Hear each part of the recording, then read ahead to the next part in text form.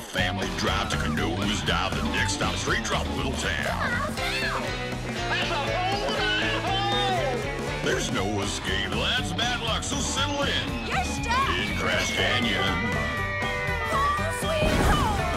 Scream and yell and have a spasm makes no difference to the chasm. Makes the fact. You live in a crash. Crash Canyon.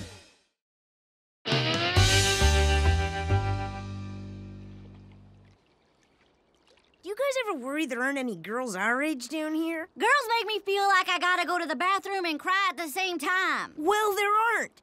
That means when we get older, we're not gonna have any girlfriends or wives or mistresses or ex-wives, anything, and then we'll die alone. Me and Sly can be your girlfriend. Why'd he leave? You came on too strong. You always do. I don't even know what that means. Me neither. So, you want to be my girlfriend? Okay.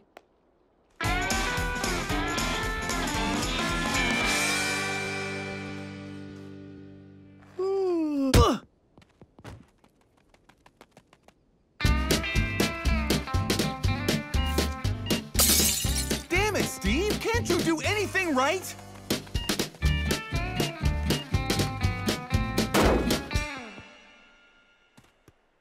Poor bird. Hit the trailer and all that's left is his egg. Well, you won't die in vain. I'll keep your baby warm and raise it as me own. Die! Lucille Ball's ovaries! Alan Alda's urethra! That seems odd, even for Sid. Somebody should take him to see the paramedics. That seems odd, even for Sid. I should take him to see the paramedics? There you go.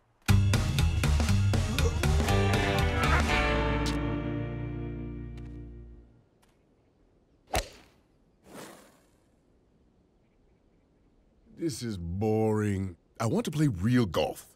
Bjorn, build me a golf course. After you get these balls.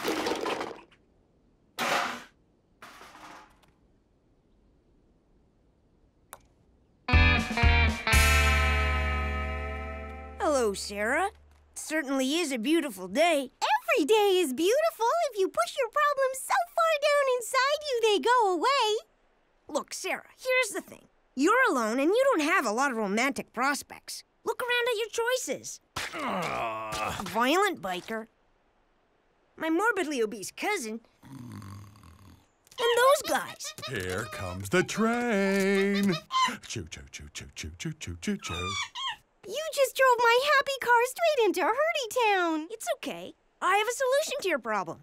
Why don't you go out with me? That's a sweet thought. But sweet things can give you a cavity, and dating you would be a moral cavity. Sorry, Jake, but no. Okay, now you do me.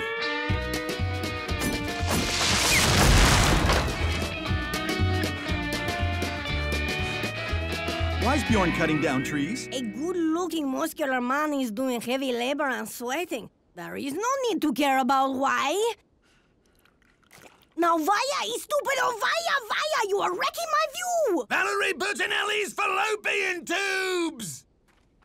Since you're up, mojito me! Al Waxman's frenulum!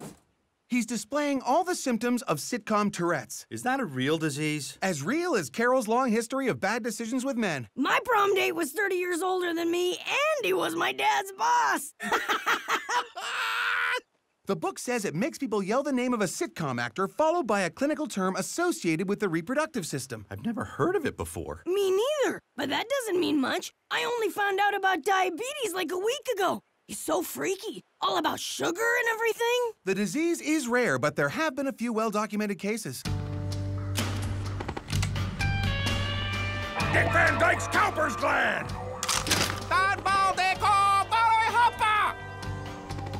It's related to head trauma. And like most medical problems, if you do nothing, it'll probably fix itself on its own. The human body is a miraculous thing. But what if it doesn't? Maybe we could try to reset his wiring by hitting him on the head over and over. Won't that kill him? Either way, it'll be over. So, even though we never talk or anything, maybe we could go steady?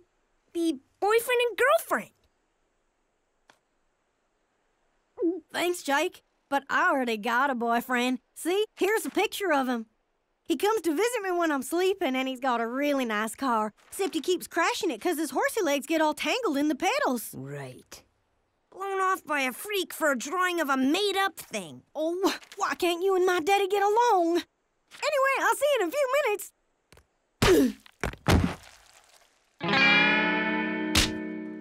Well, that's it. Shot down again. There's not enough girls down here. Not enough girls, my fanny. The problem is you're a stupid, brainless idiot who doesn't know how to properly court a woman. But- Zip it, short pants. Never interrupt a lady. You want to learn? Be at my place tomorrow at 6 a.m. sharp. But- Shut up. I'm running the show now. 6 a.m. You two morons, too. Betty White's oviduct! No, but I do have some Deb Broad's kidney. She was a pilot, but obviously not a great one. Ha!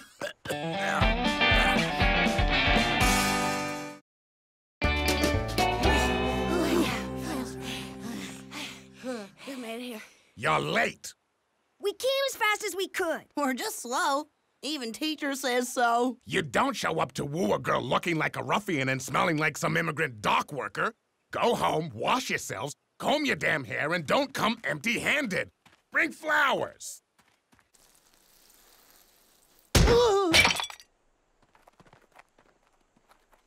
I'm afraid you have to play the ball where it lies, dear. Or you can take a drop and a penalty stroke. I'm fine. I'll play the shot.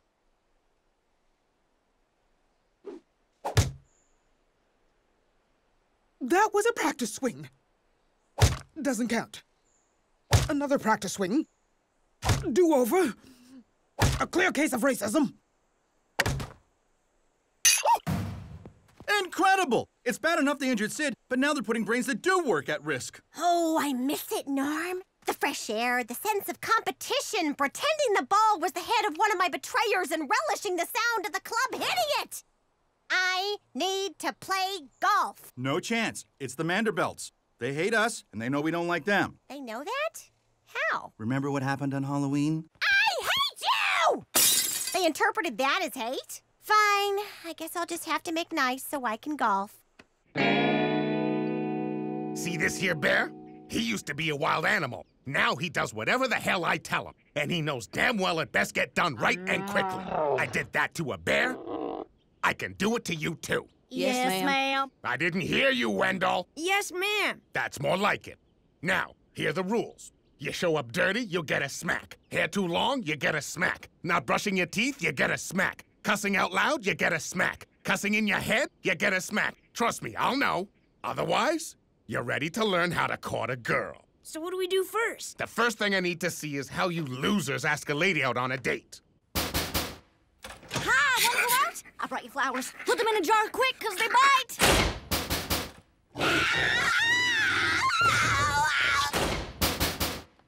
Good afternoon, ma'am.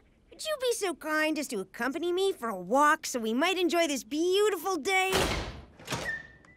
That was fine. Then why did you slam the door? A lady always plays hard to get. Only a hooker or Frida says yes the first time someone asks her out. That broad's had more hands on her than a poker table.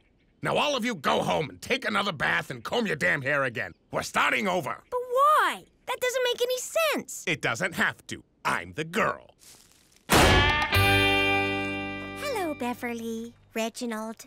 I was wondering if I might have a word with you. I don't see why either one of us would want something like that. Oh, I, I think we all just got off on the wrong foot. I'm sure if we spent some time together, we'd all realize we could be friends.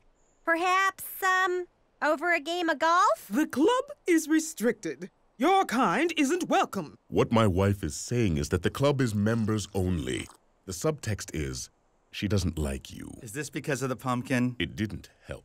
Okay, so how does one become a member of the club? An existing member must sponsor you. And since my husband and I are the only two members, you may find it difficult to get someone to support your application.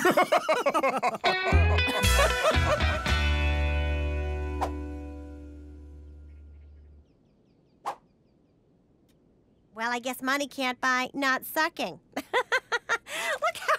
How Reginald's getting. His unhappiness brings me joy.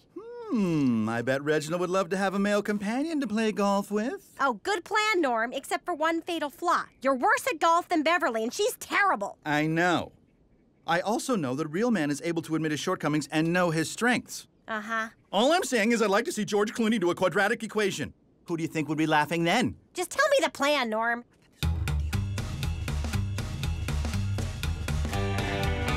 A gentleman always pulls the chair out for a lady. Not far enough, dum dum. We're not all half starved, boobless supermodels. A gentleman always lets the lady sit first. The lady gets to order first. The lady gets served first. You don't eat until she starts. Don't talk. Your job is to listen. When the meal's over, get out your wallet and pay. Wow, that sounds really fair. Isn't it kind of old fashioned for the man to pay for everything? Women who pay for their share have no self respect. They're vixens, and men who let them pay are dandies. I sure as tootin' ain't a vixen, and there is no way I'd ever be seen cavorting around town with a dandy. It's almost 7 o'clock. Take me home. If you see a woman on the street after 7 p.m., she has VD and a drug problem. Same time tomorrow. And bring a gift.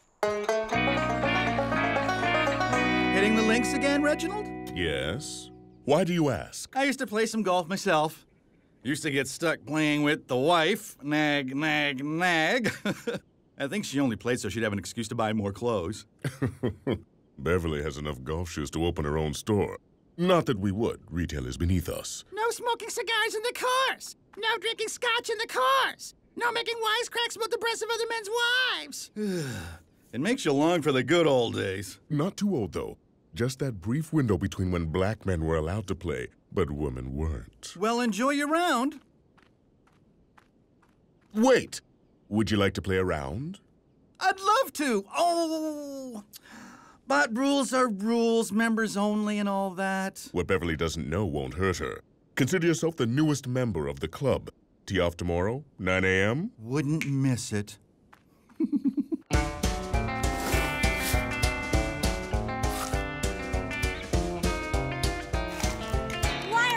Doing this again? To help me find a gift for Widow. She's my only hope if I'm ever gonna get a girlfriend. Yay! I found Daddy! Ted Danson's Epididymis! Can you believe someone threw this out? Why you want that, Mr. Vernon? I'm working on a project. What are you guys doing? We's helping Jake get a girl. Here's everything you need to know about girls. They never tell you what they really mean. I'm not hungry means she's starving, but she doesn't want you to think she's a pig. Stop taking clothes from my clothesline means I love how you're so attracted to me that you want a souvenir. And also sometimes that they really don't like strangers taking things from their clothesline. A judge will eventually tell you which is which. No offense, but why would I listen to you? Because I have a powerful effect on women. Watch. Hey, doll, I was thinking. I'm gay. Starting right now. See? Powerful. If I don't get a girlfriend, I'm gonna end up just like him. What's she doing here? According to the club charter, a member can sponsor a new member. I pick Sheila. I won't stand for this, Reginald. Do something about them while I hit. Uh, I would use a driver. They're called chauffeurs. And I'll plane my own shot, thank you very much. God, you really are a stupid woman.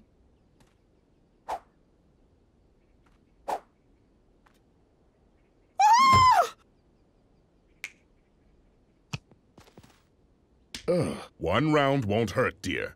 We can amend the club charter at a later date.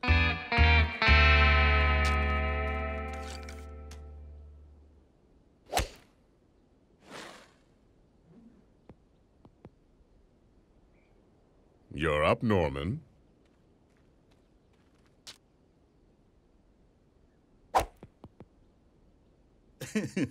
well, that won't be too hard to find. You're horrible! I was led to believe you were adept at this game. I thought we were talking about mini putt. It was a reasonably honest mistake.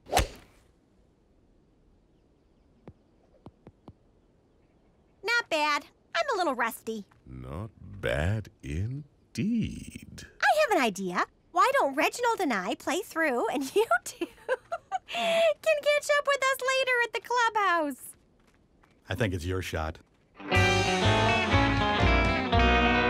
Well, you're not as disgusting as you were.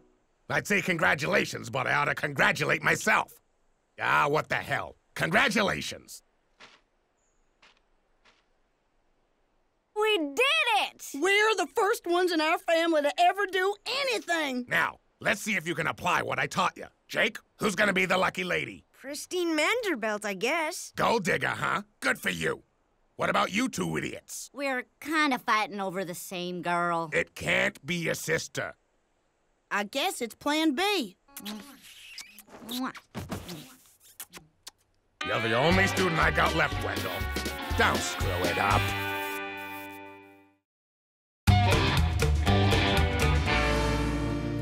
Nice job. Watch your mouth. In my income bracket, job is a dirty word.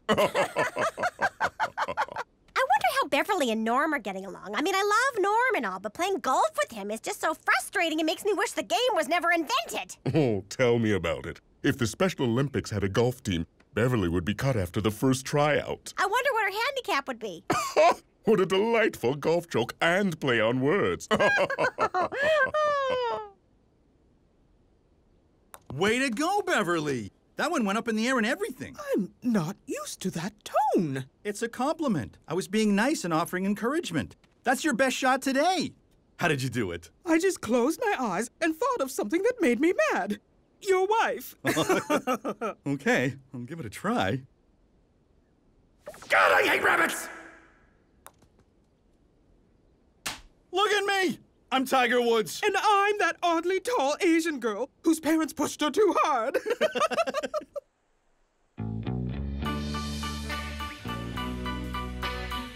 Hi, Pristine. These are for you. Wow, thanks, Jake. They're pretty. I guess, but not as pretty as you. Aww. I did it!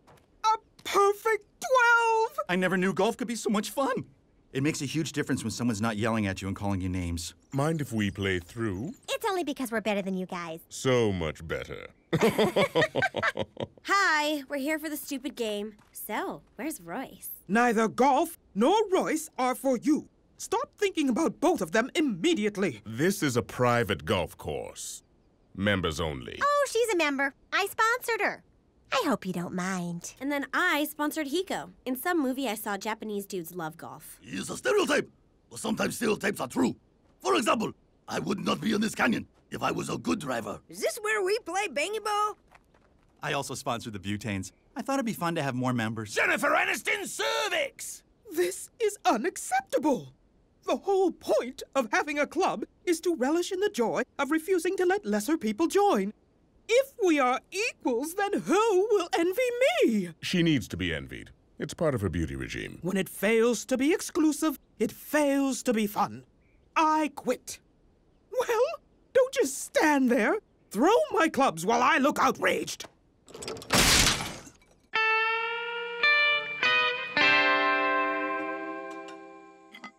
Don't be silly. This one's on me. Jake, you've been so sweet all night. You brought me flowers, a great gift. Yeah, your mom got angry about something and now she's not using them anymore. And now you're paying for dinner? I don't know what to say. You don't have to say anything. Uh, what? What happened? Was it a bat? I, I can kill it if you want. You tried to kiss me. I know. I did all that great stuff for you, so I just figured we could kiss. Jake, I like everything you did, but that still doesn't mean I like you, at least not like that. Sorry.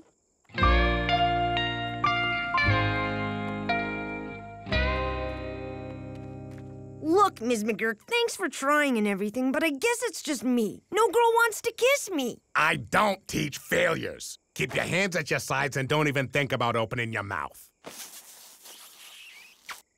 So, what do you think? I don't think I'm ready for a girlfriend. Kinda tastes like menthol and bitterness. Yeah, life'll do that to you. Anyway, you're welcome. He'll be back. Son of a bitch! He gets kissed and I get nothing? Life, you have screwed me for the last time! Michael J. Fox's vas deferens! Candice Bergen's endometrium! Ray Romano's testes! He ain't never been this bad before. So many people and things I never heard of. Oh, what's that then? A good old-fashioned game of furniture tag? Look, he's cured! You're it!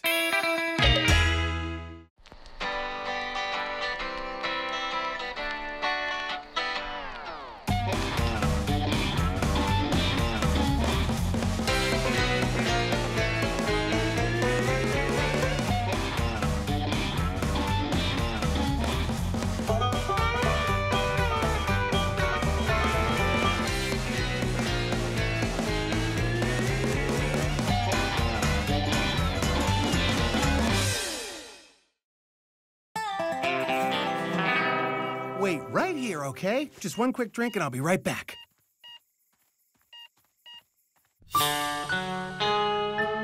I really should go. I've got a coma patient tied to a tree out front. We all do in one way or another, don't we? I mean, inside. What's the hurry? He's not going anywhere. I